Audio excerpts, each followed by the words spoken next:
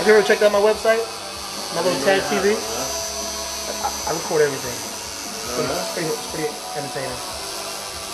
check it out. Like entertaining, entertaining sometimes.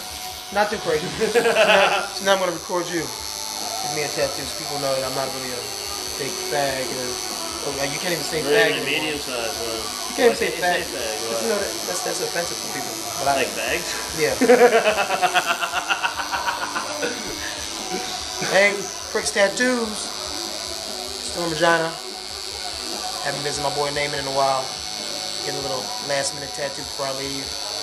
Didn't get the one I was supposed to get, but we'll get that later. He does work.